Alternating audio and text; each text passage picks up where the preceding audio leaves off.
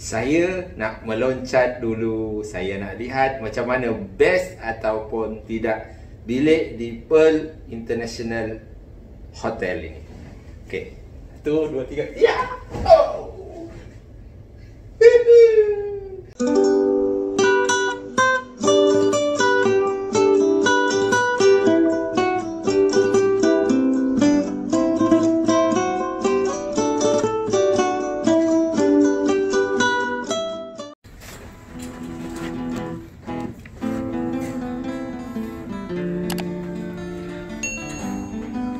Okey, dah lama dah. Ya.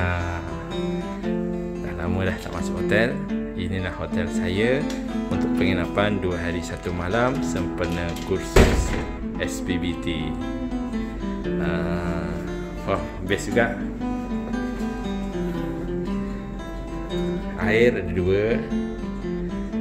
Saya kita tengok macam mana almari.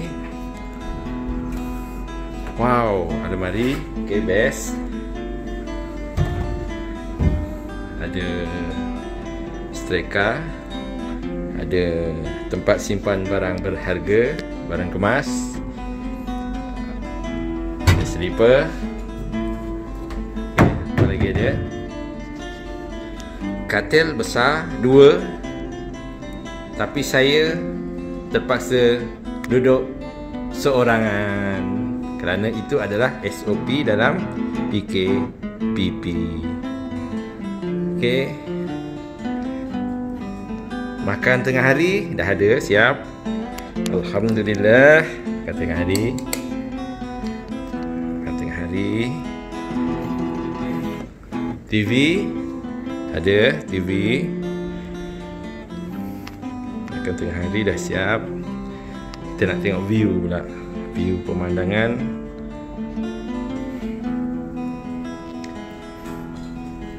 Apa yang ada di hotel The Pearls Pearls International Hotel. Bawah tu ada kolam. Sekarang saya berada di tingkat 13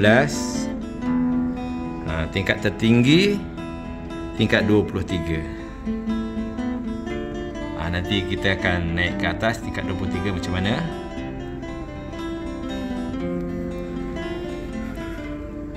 Inilah pemandangan Kuala Lumpur. Wajib bagi saya bila pergi ke hotel mesti mula-mula tengok bilik air. Bilik airnya okey. Ada toilet. Toilet bersih. Okey, kemudian ada cermin dan ada set-set peralatan mandi. Wow best best best. Okey. Ada tub mandi. Yang penting sekali kita nak cari tuala sebab saya tak bawa tuala. Mana dia tuala? Ha ada tuala yang gebu dan shower. Kita nak rasa hidangan makan tengah hari hari yang pertama. Ni bukan uh, quarantine tapi kursus di hotel. Bismillahirrahmanirrahim. Allahumma barik lana fi ma razaqtana wa qina azabannar. Makan nasi ayam. Buka. Buka sudu. Sudu pun sudu plastik. Plastik pun plastik lah.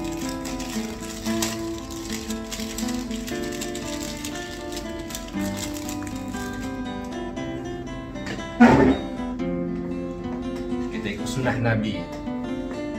Pertama, sebelum kita makan makanan berat, kita makan buah-buahan terlebih dahulu. Saya nak rasa pudingnya terlebih dahulu Agar-agar Macam rasa. Bismillahirrahmanirrahim.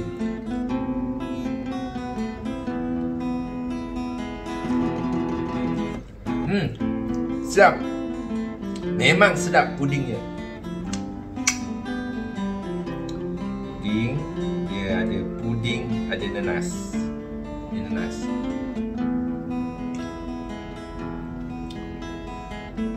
Ini nanas dalam tin. Kemudian ini biasalah kuah tembikai.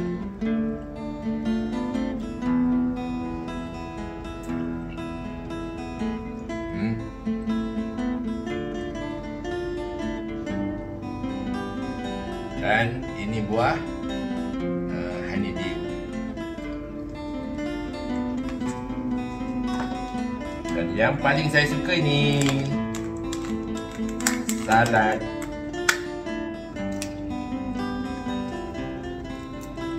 Salad. Hmm. Rasa masam dia, rasa lemak mayonis dia memang cukup rasa. Kita makan uh, salad ungu.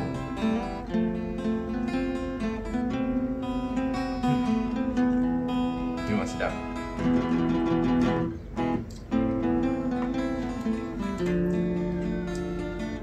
Seterusnya saya akan cuba rasa hidangan Ini ayam masak kari.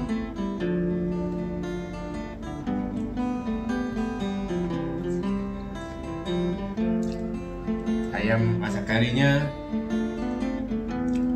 biasa saja. Sedap lagi kari mak saya. Sedap ataupun tidak pada kuahnya. Kari itu sedap ataupun tidak pada kuahnya. Hmm.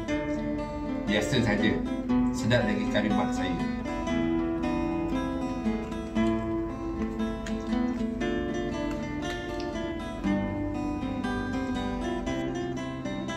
Musim PKP ni walaupun duduk di hotel kita kena ikut SOP.